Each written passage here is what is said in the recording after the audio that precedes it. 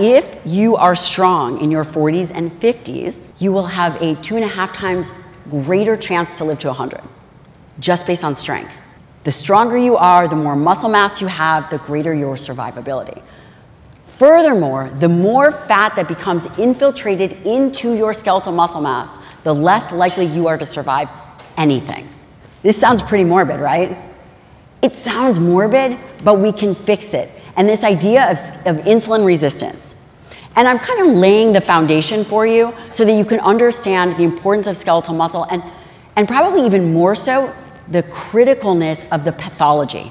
If you understand the impact that skeletal muscle mass will have on your health and your patients and your client's health, then you cannot have a conversation without talking about muscle. Hey, your skin looks good. I noticed that um, you don't have a double chin anymore. Hey, let's talk about your muscle. How's that pelvic floor doing? It's that important. And insulin resistance, insulin resistance begins in skeletal muscle mass decades earlier. This is a key paper. So this is out of Yale. So this is Petersen, uh, Petersen's lab out of Yale. He looked at, well, it was him and his wife, Kitt. They looked at 18 year old healthy sedentary college students. Healthy, lean, 18, not moving. Do you know what they saw? Insulin resistance. You do not have to have an overt sign of obesity or weight gain to be insulin resistant. Because insulin resistance begins in sedentary muscle.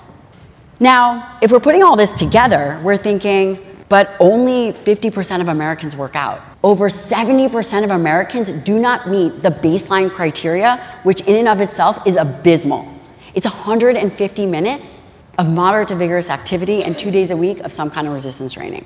We are setting the bar so low that there's opportunity to, for improvement. And let's say someone doesn't want to train or can't, then we have to be able to offer solutions for the health of skeletal muscle. You can see here letter, letter C.